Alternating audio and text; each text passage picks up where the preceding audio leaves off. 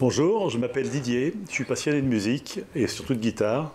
Et je travaille euh, actuellement dans un magasin de musique qui est à Saint-Maur, qui s'appelle le Pont des Arts, dans le 94, le Val-de-Marne.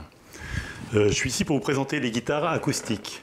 Dans les guitares acoustiques, on a les guitares classiques, comme celle que je tiens ici, ou les guitares folk, comme celle qui est ici. La grosse différence, c'est que les guitares classiques sont équipées de trois cordes en nylon et trois cordes en nylon filet acier, et non pas trois cordes nylon et trois cordes acier comme souvent les gens pensent. Même les cordes en acier sont du nylon. La guitare classique est faite pour faire de la musique classique, donc elle est souvent jouée avec les doigts, alors que la guitare folk est faite pour faire de la musique plutôt actuelle, de la musique d'accompagnement. On peut bien sûr utiliser la guitare folk pour faire du classique ou le contraire, mais il est préférable de respecter les destinations initiales. Voilà. Donc une guitare classique, comme celle qui est ici, c'est une guitare de bonne fabrication, qui est bien construite, avec une table en cèdre rouge, en, bois massif, de bonne qualité. Quelquefois, on trouve des guitares en bois massif, mais de qualité ordinaire, et il vaut mieux éviter, plutôt même choisir une guitare en plaqué, de bonne facture, plutôt qu'une guitare massive de mauvaise fabrication. Euh, cette guitare est fabrication espagnole, c'est pas important, mais bon, les Espagnols savent fabriquer les guitares classiques, c'est euh, dans leur tradition depuis très longtemps. Le manche est en acajou, avec une touche en ébène. La touche doit être bien plate pour pouvoir jouer correctement sans friser. Quand on dit friser, c'est quand une guitare fait des bruits de ce genre. Certaines personnes disent frétiller, c'est joli, mais c'est pas comme ça qu'on dit. C'est frisé. Euh, que vous dire d'autre? Donc le manche bien plat, c'est une condition importante. Il ne faut pas que les cordes soient trop hautes non plus, sinon la guitare n'est pas jouable. Plus la guitare sera haute, plus on pourra jouer fort, mais plus il faudra avoir le physique pour le faire. Une chose importante aussi, la plupart des guitares actuelles sont bien construites, mais on voit des fabrications très ordinaires qui ont entre autres cette partie-là qui est absente. Cette partie-là, c'est ce qu'on appelle le talon sur une guitare. Il est très important d'avoir un talon sur la guitare. C'est ce qui donne la rigidité du manche. Imaginez-vous une étagère sur un mur sans équerre, l'étagère tomberait très rapidement. Là, vous avez à peu près 40 kg de traction sur le, manche. Sans le talon, le manche partirait en avant et la guitare se déformerait. Et là, les cordes seraient trop hautes et deviendraient injouables. Voilà, je pense avoir fait le tour de la guitare. Euh, précisons encore une chose, c'est que la qualité de la guitare, c'est les bois qui constituent l'instrument, mais c'est aussi la fabrication. Et quand on dit fabrication, c'est la construction intérieure de la guitare, à savoir que les cordes étant fixées sur le chevalet qui est lui-même fixé sur la table, la table de la guitare, c'est-à-dire cette face avant, doit être rigidifiée à l'intérieur. C'est ce qu'on appelle le barrage. Le barrage doit être solide pour supporter la traction des cordes, mais pas trop rigide, de façon à pouvoir permettre à la guitare de vibrer. Voilà. Si je passe à la guitare folk, donc je rappelle cette guitare qui est une guitare faite plutôt pour l'accompagnement. Elle a donc des cordes en acier. La sonorité est complètement différente. La fixation des cordes est aussi différente, on le verra tout à l'heure. Les mécaniques sont des mécaniques bain d'huile qui tournent toutes seules, contrairement à la guitare classique qui a des mécaniques plus simples de fonctionnement, mais qui fonctionnent très bien malgré tout. Il suffit simplement de penser de temps en temps avec une petite goutte d'huile et à la dépoussiérer. Cette guitare est une guitare folk qui est électroacoustique, c'est-à-dire que c'est une guitare comme les autres, mais qui a en plus la possibilité d'être branchée ici par l'attache courroie. Vous branchez le jack. Ici, vous avez l'équaliseur avec les différents réglages et même un accordeur électronique intégré. Voilà. En ce qui concerne la construction de la guitare, rien à redire. C'est comme la guitare classique. Les mêmes principes. Le chevalet fixé sur la table, le barrage intérieur qui permet de rigidifier la table et qui contrôle les fréquences de vibration. Même qualité aussi pour le manche qui doit être bien droit. Mais là, les guitares folk sont souvent avec un manche réglable. On a ici une vis de réglage à l'intérieur. Je vous dis tout de suite, ne faites pas vous-même si vous ne l'avez jamais fait. Mais ça permet de corriger certaines fois bien des problèmes. On voit de nos jours des guitares laquées de couleurs noires ou blanches ou d'autres couleurs. Évitez d'acheter ce genre de guitare dans les premiers prix. Souvent, la laque permet de cacher la qualité médiocre des bois. Si vous achetez une guitare de qualité un peu supérieur, vous pouvez choisir du bois laqué, mais pas dans les premiers prix. Ou alors si vous choisissez une guitare de couleur, choisissez là comme celle-ci par exemple, avec un vernis translucide. On voit les veines du bois, on voit que c'est de l'érable, c'est pas du bois de cajot, c'est une guitare qui risque de sonner correctement. Rien qu'en la regardant, on, on repère la qualité. Donc je retire une corde. Quand on veut changer les jeux de cordes, l'idéal c'est de le faire une par une pour maintenir la tension du manche constante. Et éventuellement, si on est pressé, on les fait trois par trois mais jamais 6 d'un seul coup. Sinon, le manche peut repartir en arrière et faire ce qu'il veut, et pour reprendre sa position, il mettra un certain temps. Donc là, je vais retirer la sixième corde. Je vais demander à mon assistante de m'amener une sixième corde, s'il vous plaît. On la passe ici, dans le chevalet. On la ressort. On fait une boucle en passant par en dessous. Je reviens là. Et là, je vais la passer à l'intérieur. Et en croisant derrière le chevalet, comme ceci. Je tire énergiquement, je serre ma boucle et je relève l'extrémité de la corde pour pas qu'elle euh, touche la caisse et qu'elle vibre en créant des vibrations désagréables. En haut de la mécanique, Surtout ne pas faire de nœud, parce que vous faites un nœud et le nœud va se serrer. Et quand vous voudrez changer de corde, vous allez vous battre avec le nœud. Alors qu'il est tellement plus simple de passer la corde dans la mécanique, de la ressortir par le devant, et ensuite vous faites une petite spirale comme ça. Une fois, deux fois. Là, la spirale, quand vous allez tourner la mécanique, elle va s'étrangler sur, le tourillon de la mécanique et bien se bloquer. Quand vous desserrez, la spirale se défait automatiquement d'elle-même. Voilà. Et quand on tourne, on essaye de faire des spires assez jointives, des enroulements jointifs, de façon à ce qu'il n'y ait pas de jeu, limiter le jeu. Moins il y aura de jeu, plus la guitare se stabilisera en accord. Voilà. J'hésite pas, je tire un peu dessus comme ça. Je peux l'accorder.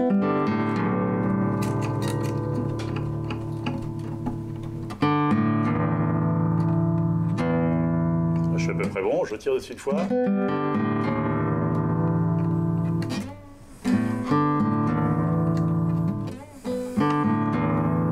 Voilà, pratiquement elle ne bougera plus là. Ainsi de suite. Je suis maniaque, mais j'aime bien couper les extrémités des cordes. Sur les folles, qu'on se crève l'œil avec, ou on se pique les doigts, et sur les classiques, ça fait des petites vibrations désagréables. C'est pas chouette. Je vais faire le changement de la corde aiguë puisque là, sur les basses, on ne fait qu'une seule boucle ici. Sur les aigus, on fait une, petite torsade parce que le nylon glisse. Dans le temps, quand on fumait, on brûlait l'extrémité de la corde pour faire une boule. Maintenant qu'on ne fume plus, c'est pas, plus à la mode. On fait plusieurs tours. Donc je vais prendre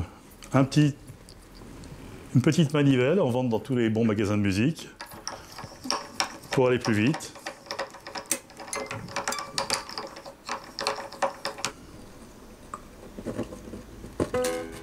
Voilà, je passe par en dessous.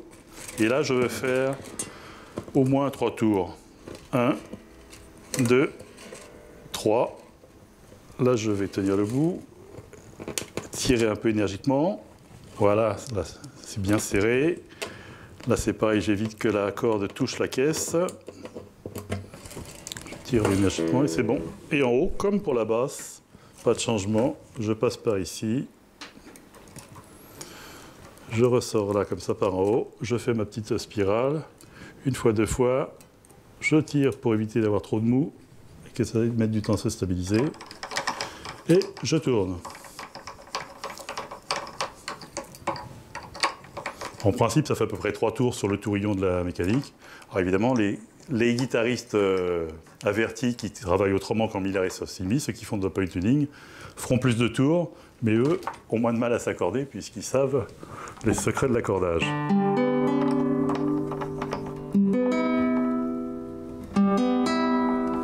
Voilà, pareil que pour tout à l'heure, je tire un peu dessus. On l'a maintenant ici vers la douzième case. C'est une guitare, c'est pas un arc. C'est bon. Je peux rejouer. Sachez qu'il ne faut pas attendre que les cordes cassent pour les changer non plus. Les cordes, c'est comme euh, le fil à linge, euh, même si on ne met pas de, linge à sécher dessus, ça se détend. Donc le diamètre change et la corde devient fausse. Je défais la corde en haut. En bas, j'ai une petite cheville qui est très difficile à défaire normalement avec les doigts, mais si j'ai ce petit instrument-là, je peux par le système prévu ici sortir la cheville. Là, il y a un sens sur la corde, bien sûr. Il y a un côté avec une petite boule. La boule, je la mets dans le chevalet.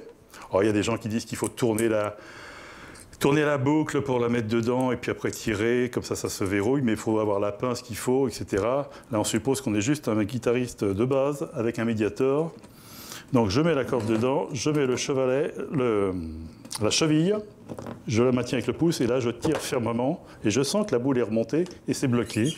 Je passe la corde dans la mécanique, je ressors de l'autre côté, Là, je laisse un petit peu de mou parce qu'il y a moins d'élasticité sur une corde métallique que sur une folk.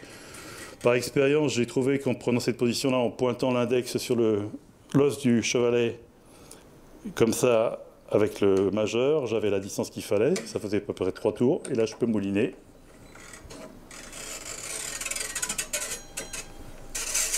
Voilà, j'essaye toujours d'avoir des spires bien serrées. Je m'attire la cheville, on ne sait jamais, des fois que je suis mal bloqué. Voilà.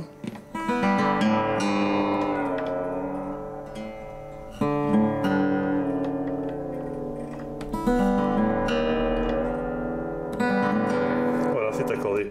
Et là, c'est beaucoup plus stable que le nylon.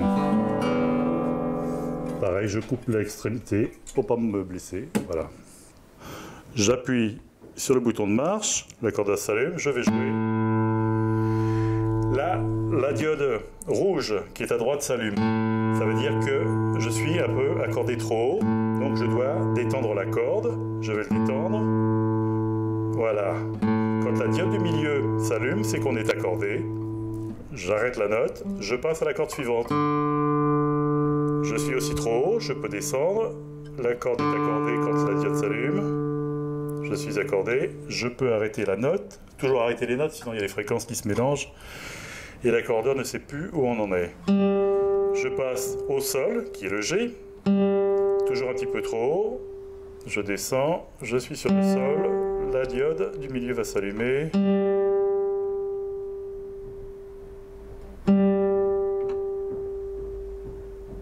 Voilà, je suis accordé, j'éteins, je change. Le Si donc B.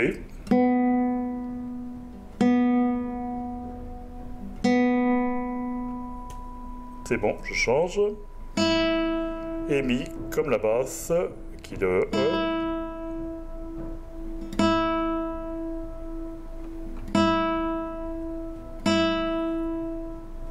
Voilà. C'est fini, il n'y a plus qu'à jouer. Quand la guitare est très désaccordée, bah, ce qu'il faut, c'est déjà connaître l'ordre des notes. Là, par exemple, je joue. Ça indique un Mi. Je sais que le Mi est bien avant le La, puisque là, je suis en train de jouer le La. Mi, Fa, Sol, La. Donc, il faut que je monte toutes ces notes-là. Mi, Fa, Fa dièse, Sol. Sol, c'est juste avant La, donc je m'en approche. Sol, je continue à monter. Sol dièse, je suis très loin. Sol. Et j'arrive au La. Je me mets au milieu. C'est bon, je suis accordé. C'est tout. Il faut juste connaître le nom des cordes, le nom des notes, do, ré, et savoir leur ordre. On dit qu'il ne faut pas mettre son instrument là où on ne voudrait pas être soi-même. C'est-à-dire le coffre de la guitare, je n'aimerais pas voyager dans le, coffre, de la guitare. Dans le coffre de la voiture, je n'aimerais pas voyager, donc je ne mettrais pas ma guitare dans le coffre. Par contre, j'aime bien prendre un bain, mais je ne mettrai pas ma guitare dans le bain, ça tombe sous le sens.